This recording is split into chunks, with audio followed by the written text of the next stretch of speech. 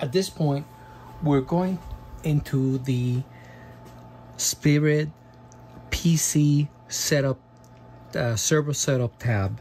So we're going to connect the uh, Spirit to the um, to a twist lipo, so we can start up the P, uh, the Spirit. We're gonna wait until the light here is steady. Once the light is steady, we're going to start the uh, PC program.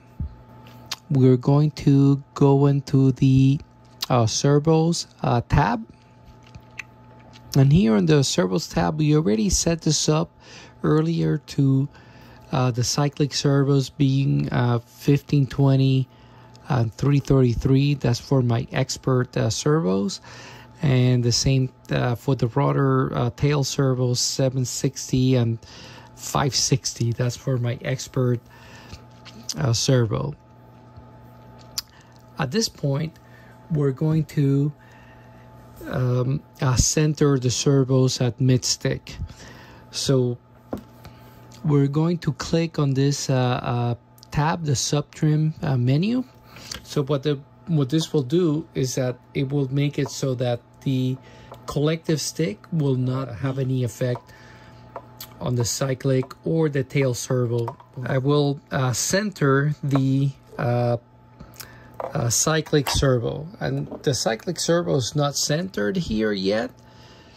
I will change the uh, servo uh, center position here on the uh, PC and negative 20 uh, seems to be the right the correct place to make the servo completely uh, 90 degrees to the uh, servo itself.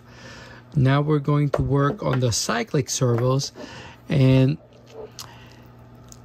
on the general tab we figured out that the uh, channel 2 uh, here I change the servo to be channel 2 is going to be the elevator uh, servo for my particular helicopter.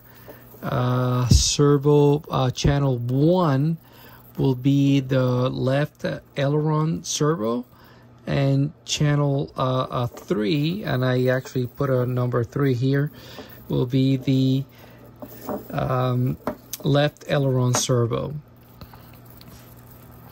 So for channel 2 I'm gonna go back to the servos uh, screen. Again subtrim. And I will make this 90 degrees to the servo case. And again this is number two elevator. Oh and by the way I didn't uh, make this uh, clear earlier but as I move the uh, stick I didn't make this clear earlier, but as I move the stick, I want the uh, the servos to move collectively up and down. So in this case, I actually have to change uh, channel 2 to uh, be uh, reversed so that the servos all, when I move the stick up, all the servos move up. And when I move the stick down, all the servos move down. All right. And at this point, um, I'm going to concentrate on the channel 2. So this is a, a servo number 2. And, then, and we're going to make this uh, centered. So at this point, oops, I'm going to check on check on subtrim first. I forgot to do that. And now at this point, let's see, we're gonna find out the correct position where uh, the center should be. And this is a subtrim. And negative 13 seems to be the correct place for this particular servo. For channel number one, all right, we're to find the center position here on the sub trim and as you can see as I move the sub trim up and down or I guess uh, up and down we figure out that the way I um, put this uh, servo arm here mm, let's see about negative 46 is the correct place to make this 90 degrees